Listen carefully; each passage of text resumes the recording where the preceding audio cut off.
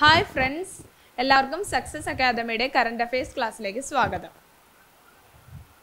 നമ്മുടെ first question which day is commemorated as the international peace day international peace day ആയി celebrate ചെയ്യുന്ന ദിവസം ഏതാണ്? സെപ്റ്റംബർ ട്വന്റി ഫസ്റ്റ് ആണ് ഉത്തരം. ഈ വർഷത്തെ ഇന്റർനാഷണൽ പീസ് ഡേയുടെ തീം എന്താണ്? End racism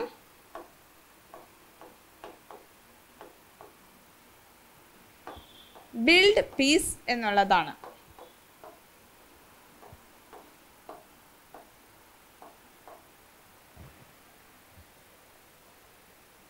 Which country has signed an official memorandum to join Shanghai Cooperation Organization in 2023?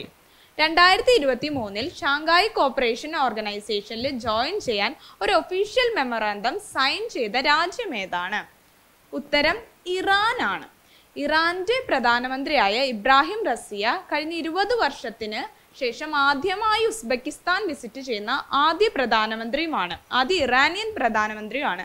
അപ്പോൾ എസ് സി ഒ സമ്മിറ്റ് നടന്നത് എവിടെയാണ്? ഉസ്ബെക്കിസ്ഥാനിലാണ്.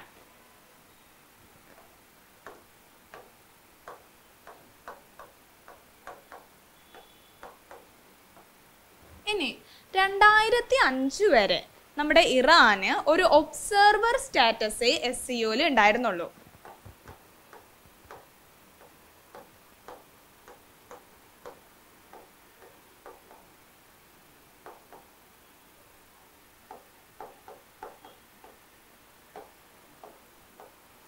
രണ്ടായിരത്തി ഇരുപത്തിയൊന്ന് സെപ്റ്റംബറിലാണ് ഒരു ഫുൾ മെമ്പർഷിപ്പിലേക്ക് ഇറാൻ മാറുന്നത്.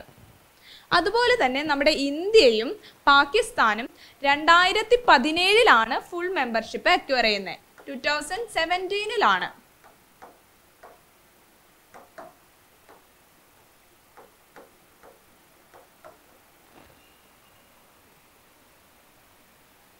which union ministry launched the annual report on environment sustainability 2022 to 2021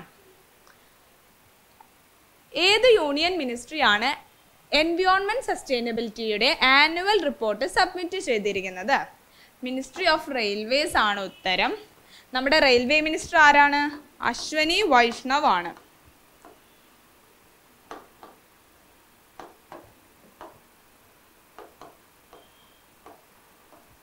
ഇപ്പോൾ ഇന്ത്യൻ റെയിൽവേയുടെ ഒരു മെയിൻ ഒബ്ജക്റ്റീവ് ആണ് to promote green and clean energy എന്നുള്ളത്. Which country is the host of governing body session of the international treaty on plan genetic resources for food and agriculture international treaty on plan genetic resources for food and agri അഗ്രികൾച്ചറിന്റെ governing body session നടന്നത് ഏത് രാജ്യത്താണ്? ഇന്ത്യയിലാണ്. അതുപോലെ തന്നെ I T P G R A R F A അതായത് international treaty on plant genetic resources for food and agriculture നിലവിൽ വരുന്നത് ഏത് ഇയറിലാണ് രണ്ടായിരത്തി നാലിലാണ് നൂറ്റി നാൽപ്പത്തി ഒമ്പത് രാജ്യങ്ങൾ ഇത് അംഗീകരിച്ചിട്ടുണ്ട്. Ratified by one forty nine countries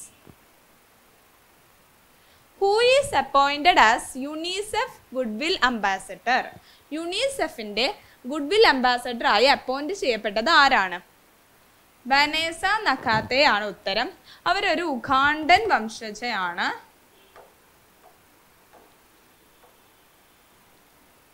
African climate ആക്ടിവിസ്റ്റുകളെ സപ്പോർട്ട് ചെയ്യുകയും അതിന് അതിനു വേണ്ട ഹെൽപ്പുകളൊക്കെ ചെയ്യുന്ന ഒരു റൈസ് അപ്പ് മൂവ്മെന്റിന്റെ കൂടെ ഭാഗമാണ് നമ്മുടെ വനേസ നക്കാത്തെ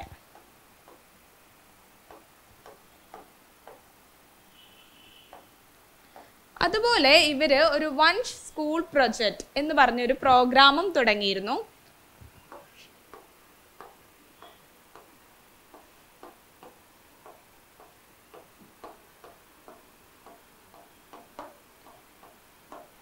ഈ ഒരു പ്രൊജക്റ്റിന്റെ മെയിൻ എയിം എന്ന് പറയുന്നത് റൂറൽ ആഫ്രിക്കൻ റൂറൽ വില്ലേജസിൽ സോളാർ പാനൽസ് കഴിയാവുന്ന അത്ര ഇൻസ്റ്റാൾ ചെയ്യുക എന്നുള്ളതാണ്. What is the theme of world patient safety day twenty twenty two രണ്ടായിരത്തി ഇരുപത്തിരണ്ട് വേൾഡ് പേഷ്യന്റ് സേഫ്റ്റി ഡേയുടെ തീം എന്താണ്? മെഡിക്കേഷൻ സേഫ്റ്റി ആണ് ഇതിന്റെ തീം അതുപോലെ തന്നെ ഇതിന്റെ സ്ലോഗൺ എന്ന് പറയുന്നത് മെഡിക്കേഷൻ വിത്തൗട്ട് ഹാം എന്നുള്ളതാണ് സ്ലോഗൻ അപ്പം നമുക്ക് വേറൊരു ചോദ്യം പ്രതീക്ഷിക്കാം. എന്നാണ് ഈ world patient safety day seventeenth സെപ്റ്റംബറിലാണ്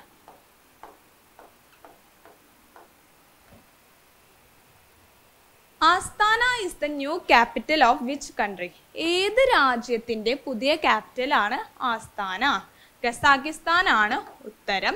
ആസ്ഥാനയുടെ പഴയ പേര് നൂർ സുൽത്താൻ എന്നായിരുന്നു. അത് മാറ്റി റീനെയിം ചെയ്തതാണ് ആസ്ഥാന എന്ന്. India the U A E and France held their first trilateral foreign ministers meeting in which city ഏത് സിറ്റിയിൽ വെച്ചിട്ടാണ് ഇന്ത്യയുടെയും യു എ ഇയുടെയും ഫ്രാൻസിന്റെയും first trilateral foreign ministers meeting നടന്നിരിക്കുന്നത്? ന്യൂയോർക്കിൽ വെച്ചിട്ടാണ്. അപ്പോൾ ഈ first trilateral foreign ministers meeting എന്ന് പറയുമ്പോൾ തന്നെ ആരായിരിക്കും അത് അറ്റൻഡ് ചെയ്തിരിക്കുന്നത്? ഫോറിൻ മിനിസ്റ്റേഴ്സ് ആയിരിക്കും.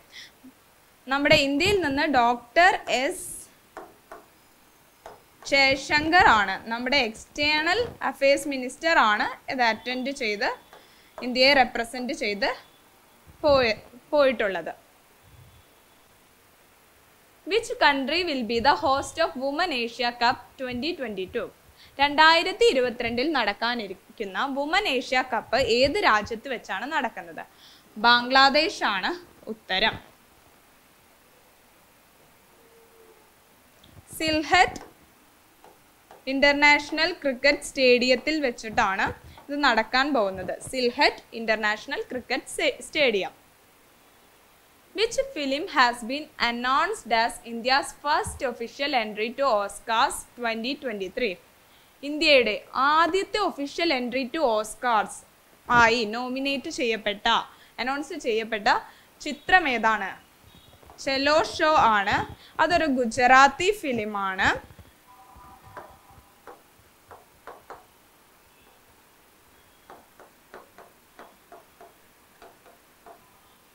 category best international feature film